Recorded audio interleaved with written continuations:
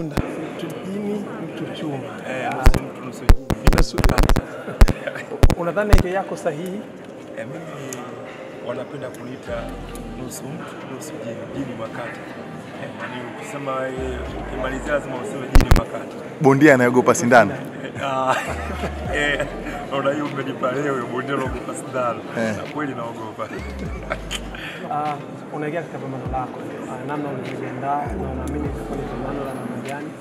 Mimi nasema inshallah, nashukuru Mwenyezi Mungu kwanza, nimejiandaa vizuri mpaka sasa hivi na afya nzuri, na nategemea kwamba pambano litakuwa nzuri sana, kwa sababu nia na mazumuni ni kuja kuwafurahisha Watanzania, kwamba kila siku unaambiaga mashabiki wangu wa ngumi kwamba mimi napenda sana kufanya kitu ambacho wao waenjoy, kwa sababu unajua mchezo wa ngumi ni mchezo wa burudani, kwa hiyo lazima nifanye kitu ambacho kwamba wao wataenjoy.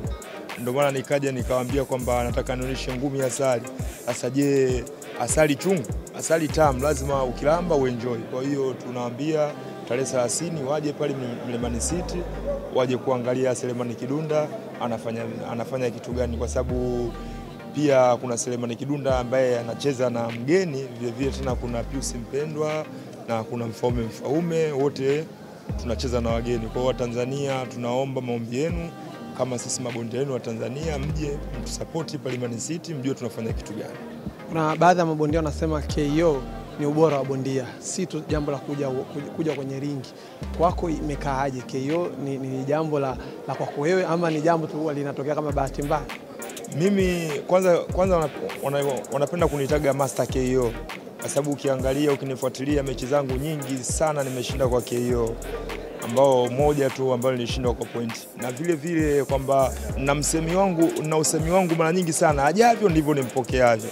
Sasa mara nyingi sana usemi watu wanakopoa utambui kwamba namaanisha kitu gani kwamba bondia akicheza na mimi anatakiwa awe makini kuanzia kwanza hadi mwisho, kwamba lolote linaweza kutokea, lakini KO kwamba ni, yani KO ni to, automatic. Ndio maana nawaambiaga tu ajavyo ndio nimpokeavyo, kwamba hiyo ajavyo nimpokeavyo namaanisha kwamba ni KO. Akija ovyo ovyo atapigwa KO. Lako kwa, ma- kwa mashabiki ambao watakuja kutizama wa mchezo hapo Mlimani City. Kwanza na, na imani kubwa Mlimani City itajaa siku hiyo, yaani hiyo ndo imani niliyokopo nayo, kwa sababu wengi wao watakuja kuangalia laza. Kwa hiyo sisi tuna, nasema Watanzania wenzetu karibuni sana Mlimani City, mje kuangalia Watanzania wenzenu na tunafanya kitu gani. Eh, Asante Jini Makata. eh, jini Makata eh, sasa